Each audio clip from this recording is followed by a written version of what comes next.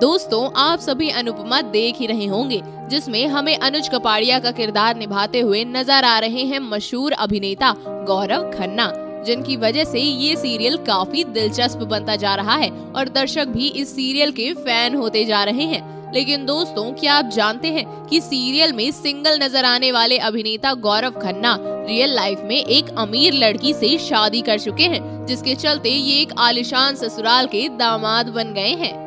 इसीलिए आज की हमारी इस वीडियो में हम आपको गौरव खन्ना की अमीर वाइफ और आलिशान ससुराल से रूबरू कराने वाले हैं अगर आप भी ये सब जानना चाहते हैं तो हमारे साथ इस वीडियो के अंत तक बने रहें। साथ ही इस अभिनेता के लिए हमारी वीडियो को लाइक करना ना भूलें। अनुपमा सीरियल के फ़ेमस अभिनेता गौरव खन्ना एक बहुत ही आलिशान घर के दामाद हैं और जिस लड़की से इन्होंने शादी की है, वो कोई और नहीं, बल्कि टीवी इंडस्ट्री की जानी मानी और खूबसूरत अभिनेत्री आकांक्षा चामोला है, जिनके पिता मिस्टर चमोला पेशे से एक बिजनेसमैन है और आपको बता दें कि उन्होंने और उनके पिता मिस्टर चामोला ने मिलकर मुंबई में छह करोड़ का एक आलिशान घर बनाया है, जिसमें हर तरह की फैसिलिटीज़ उपलब्ध हैं।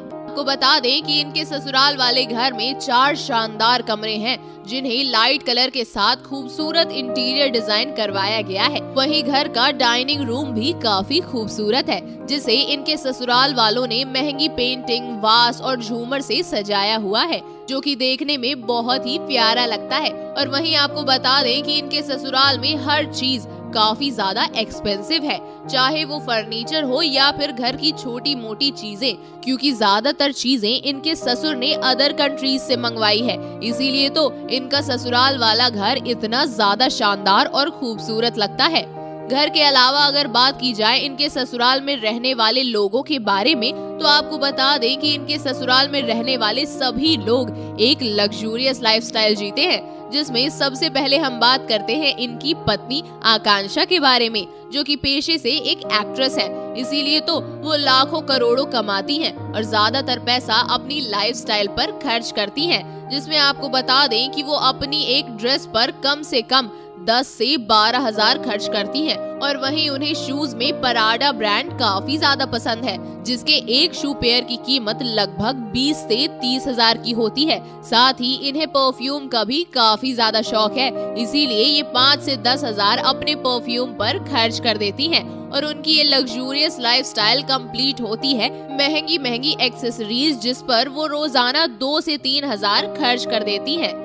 पत्नी के बाद बात करें इनके बाकी ससुराल वालों की लाइफस्टाइल के बारे में तो आपको बता दें कि इनके बाकी ससुराल वाले भी काफ़ी लग्जूरियस लाइफस्टाइल जीते हैं, मगर उनकी ज़्यादा फ़ोटोज़ इंटरनेट पर उपलब्ध नहीं है। अब अंत में बात करें इनके ससुराल को और भी लग्जरी बनाने वाले कार कलेक्शन के बारे में तो आपको बता दें कि उनके पास मर्सिडीज बेंज फरारी और रोल्स रॉयस जैसी कार्स हैं। जो इनके ससुराल वाले लोगों की आलिशान ज़िंदगी को और भी आलिशान बनाती है।